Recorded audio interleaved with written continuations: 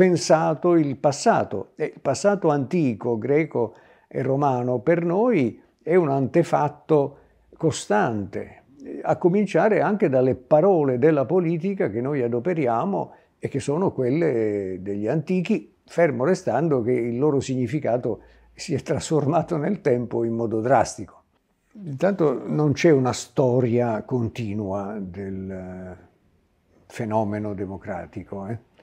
Quando nasce già nel mondo delle città greche, eh, non è affatto una parola eh, ben vista, anzi è un insulto, è un termine che vuole indicare la prevalenza, come dice un autore ateniese di tardo V secolo, delle canaglie. No? Lui ha un linguaggio molto crudo, è un oligarca chiaramente, addita tutti i difetti dei sistemi in cui il popolo conta e Aristotele, un secolo più tardi, nella politica eh, riflette su questo concetto in più punti della sua opera, che peraltro non è un'opera organica, sono i suoi corsi sulla politica messi insieme dagli scolari.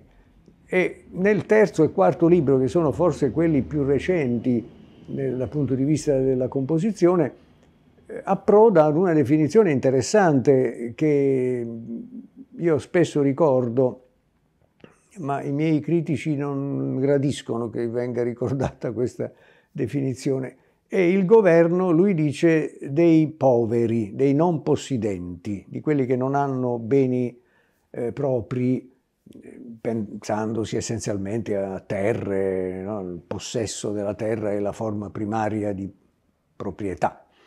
Quando una città, lui dice, ha 1300 abitanti, un'ipotesi fittizia, e 300 sono poveri e governano, quella è una democrazia. Governano i mille ricchi, quella è un'oligarchia, perché l'oligarchia è il governo dei ricchi, dei possidenti. Ora approda ad una definizione diremmo noi moderni, sostanzialista, che fa a pugni con eh, le definizioni correnti molto venerate, Sartori in particolare, eh, ci si inginocchia appena si pronuncia il nome Sartori, va benissimo, persona intelligentissima al tempo suo. Eh, il numero, la maggioranza, eh, no, non è la maggioranza. Eh, nel concreto della storia ateniese Aristotele dice per lo più i poveri sono più numerosi, ma per lo più. Ma proprio nel caso di Atene è vero il contrario, potremmo dire, perché eh, tanto Atene vuol dire l'Attica, cioè una regione, uno stato regionale, non una città-stato che è una frase priva di senso. Stato regionale in cui la maggioranza numerica delle persone di condizione libera, naturalmente, che sono molto meno numerose degli schiavi, è costituita da piccoli proprietari. Quindi mh, i poveri nel senso di non possidenti sono una minoranza politicamente attiva. Il sostegno del sistema democratico fondato sull'assemblea decisionale funziona perché c'è questa minoranza attiva cui Peraltro la ricchezza che viene dagli alleati, dall'impero e dal fatto che ci sono gli schiavi consente di fare politica.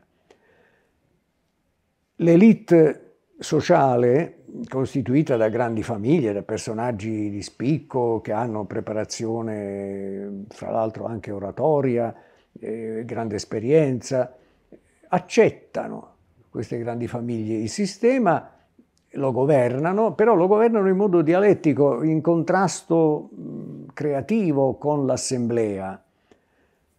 Quello stesso autore che ho ricordato prima, eh, anonimo perché il nome suo non lo conosciamo, potrebbe essere Crizia, l'allievo di Socrate, dice le cariche elettive il popolo, che lui disprezza, eh, le lascia amministrare dai ricchi, perché non lo saprebbe fare le cariche elettive sono quelle più importanti, no? l'amministrazione delle finanze, no? gli elenotami e la strategia, cioè i comandi militari che non sono soltanto militari, sono, hanno anche forti responsabilità politiche. Ecco, questo è il quadro concreto. non c'è da innamorarsene necessariamente, no? perché le critiche al sistema eh, sono molto forti, le leggiamo nei filosofi, quasi tutti i pensatori sono contrari al sistema democratico con varie argomentazioni, lo stesso Aristotele mm, introduce delle limitazioni, propone dei correttivi. Questo sistema eh, certamente è un modello remoto che non ha nulla a che fare con la pratica, diciamo, tardo settecentesca, ottocentesca. Rassomiglia un po' ai comuni medievali per quella breve stagione in cui hanno avuto una vitalità eh, la Firenze di Machiavelli, di Savonarola, dove non c'è più la schiavitù antica, c'è una conflittualità fortissima e anche una grande instabilità. Quindi è un esperimento interessante che riappare, la parola magari non è quella eh, c'è un passo che ogni tanto mi accade di ricordare, messo in luce da Roberto Ridolfi, biografo di Machiavelli e di Savonarola, un passo della cronaca della rivolta dei Ciompi in cui un capo popolare si rivolge a Gino Capponi, remoto antenato di, di Ridolfi, e dice voi ricchi la smetterete con le vostre maggioranze, perché nell'italiano arcaico maggioranza vuol dire sopraffazione, no? e a noi fa un certo effetto perché i cultori della maggioranza come veicolo di democrazia hanno qualche imbarazzo dinanzi a queste difficoltà, e però basta capirlo, insomma, che vuol dire quello. Le vostre maggioranze vuol dire che i signori poi tentano di sopraffare avendo più cultura, più ricchezza, più capacità di influenzare, influenzare gli altri, eccetera. Dopodiché la storia ria, ricomincia molto dopo, eh, però colpisce il fatto che nell'oratoria parlamentare eh, della rivoluzione francese, che noi abbiamo per fortuna in larghissima misura, eh, la parola dominante è patria, nazione, libertà, peuple anche, no? il popolo, Amarà eh, fonda un giornale, l'Ami du peuple, no? evidentemente, ma questo eh, cosa significa? Che l'idea che loro hanno, un po' confusa, anche contraddittoria, dati i contrasti tra di loro, le formazioni partitiche embrionali, no? la montagna, la, i club, eh, poi la palude, Saint-Just teorizza che in un regime repubblicano ci può essere un solo partito, il partito che si riconosce nel, nel sistema repubblicano. Ma anche dopo c'è un lessico, Staatslexikon, fondato da un pensatore liberale, liberale poi all'inizio dell'Ottocento vuol dire un'altra cosa rispetto a Giovanni Malagodi naturalmente, no? vuol dire quasi un erede del giacobinismo che ha imparato la lezione del fallimento del giacobinismo, quello grosso modo vuol dire. Quest'uomo si chiamava Rottek, fonda lo Staatslexikon e in un supplemento, non più scritto da lui ma da suoi scolari, eh, c'è una frase che mi colpisce per la sua semplicità. In uno Stato democratico a rigore può esistere soltanto il Partito Democratico diciamo, della restaurazione, del primo decennio, quindicennio della restaurazione, comincia a farsi strada, e cioè che le organizzazioni dei lavoratori na fanno nascere la istanza democratica. Sono lavoratori che hanno una vita durissima, che si organizzano e che pongono la questione delle questioni in antitesi alla visione liberale ormai consolidata, vogliono il suffragio universale. E quindi la democrazia comincia a muovere dei passi nell'Europa del secolo XIX nel nome del suffragio. L'idea è che il suffragio darà il potere ai poveri, ai lavoratori. Il movimento operaio si organizza e il primo vero partito moderno è il partito operaio, poi i vari partiti socialisti dell'Europa tardo ottocentesca. La democrazia comincia a vivere allora ed è tutt'altro che una vita facile, perché per esempio ancora quando Mazzini è a Londra esule, l'Oxford Dictionary, che ha avuto varie edizioni, no? anche quella ultima è molto utile, si rifanno i vocabolari nazionali, diciamo così. Definisce questo vocabolario l'Oxford Democracy Social Revolution, la rivoluzione sociale. Quindi è una cosa terribile che eh, l'establishment non sopporta.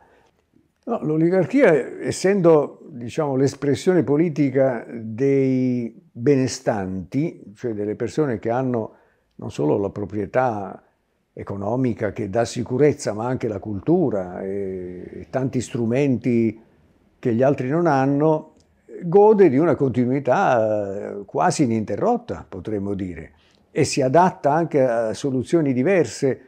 Eh, Bonaparte, la spada della rivoluzione, eh, ha capito a modo suo perché la rivoluzione è andata poi su un binario morto, si inventa uh, l'impero, che è una trovata, eh, non so se oggi qualcuno eh, si lancerebbe in una definizione populista, no? una parola priva di senso che è comoda, è come uno scendiletto no? populista.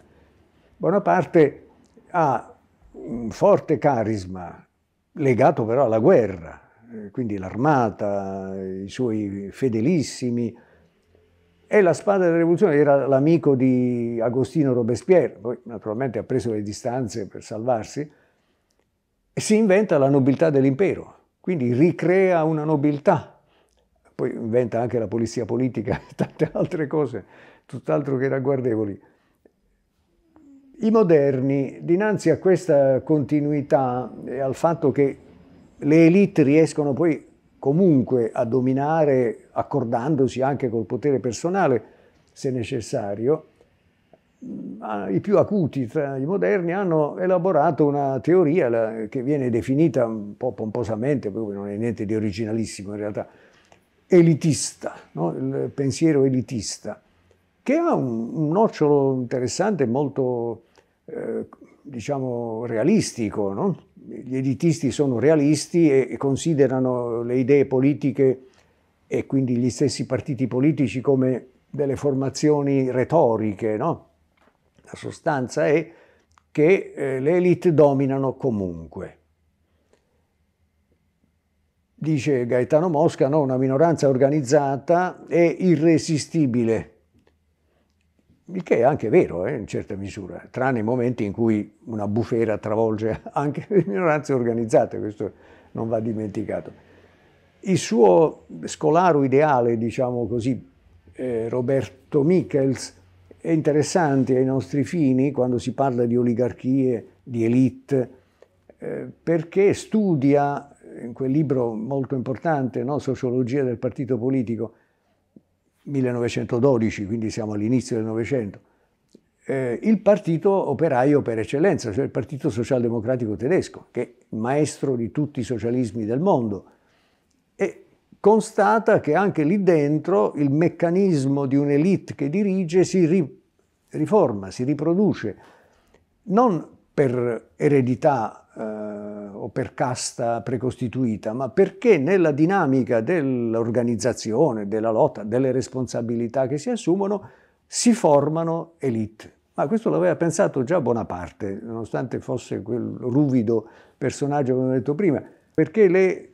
aristocrazie si formano dovunque, anche negli atelier operai. Però ecco, il fatto che oggi eh, si parli di oligarchie pensando di dire grosso modo la stessa cosa che proferendo il termine aristocrazia veneziana è uno sbaglio, perché oggi le oligarchie sono legate a un fenomeno completamente nuovo e ai limiti del, diciamo, della malavita organizzata, cioè il capitale finanziario. Il capitale finanziario è il vero padrone dei nostri destini ed è il luogo attraverso cui la grande malavita mondiale, che non è il povero spacciatore qui all'angolo di una povera strada di provincia, eh, ma il grande traffico ripulisce il denaro nelle banche e naturalmente quello è il segreto del Graal no? che non va toccato e il grande giro di quattrini, la ricchezza è tutta lì dentro, quindi le nuove aristocrazie o oligarchie che dir si voglia sono come intuì Bertolt Brecht, grande poeta tedesco, eh, strettamente connesse alla malavita. la quale ha in pugno i destini dei cosiddetti paesi civilizzati. È stata la formazione, dopo la fine del socialismo in Europa e l'illusione americana di avere il monopolio del mondo, la formazione di un'Unione Europea, obiettivo straordinariamente importante, attuato nella forma peggiore possibile, cioè nella forma eh, monetaristica, con vincoli ferocissimi penalizzanti per i paesi meno solidi o già indebitati, attacco allo Stato sociale, lo Stato sociale è un peso, era nato lo Stato sociale diciamo tra le due guerre.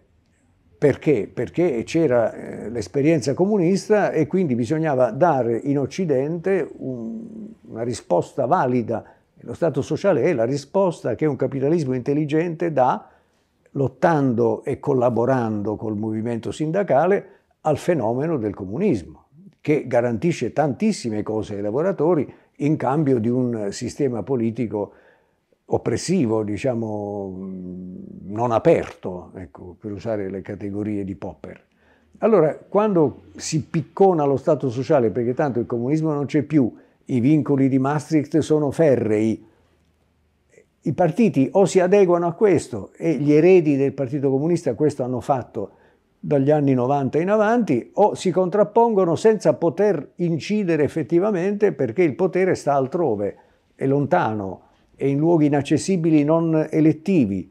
Eh, abbiamo una formazione politica che non gradisce neanche che gli si ricordi la remota origine, no? attualmente si chiama Partito Democratico, si guarda agli Stati Uniti d'America e va bene un movimento sindacale che non trova un interlocutore vero, non ce l'ha in casa propria, da ultimo non viene neanche ricevuto nelle stanze del potere, ce l'ha lontano e uno sciopero generale come quello del 19 novembre del 21 è come abbaiare alla luna,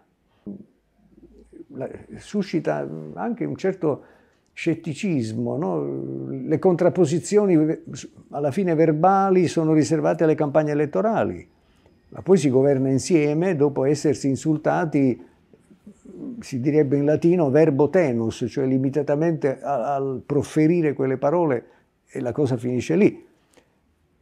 Dura da molto tempo, sì, perché nella vita parlamentare un dodicennio da, dalla cacciata di Berlusconi dopo che Draghi e Trichet mandarono la lettera che ordinava appunto di mandarlo via, ad oggi è un tempo non, non breve nella storia parlamentare di un paese e si comincia a capire che è una tendenza di fondo e questo induce a chiedersi che razza di partiti sono quelli che affratellati tutti insieme con qualche polemica quotidiana a fine come dire, di rivendicazione della propria identità, eh, obbediscono a direttive, a elementi cogenti che vengono ormai da fuori. Le direttive europee arrivano direttamente alle regioni, saltando i governi nazionali. La compatibilità, Monti addirittura ci ha fatto mettere nella Costituzione il pareggio di bilancio, che per un paese come il nostro, dove lo Stato sociale è la salvezza dei ceti più deboli, è una pura follia. Se il modello è quello degli Stati Uniti, dove eh, se tu ti ammali eh, cadi nell'ascensore, nell'ascensore sociale molto in basso, oppure devi avere un sacco di quattrini per farti curare. Ecco, non sono cose da poco, caratterizzano una società, uno stile politico. Ecco, da questo come si viene fuori?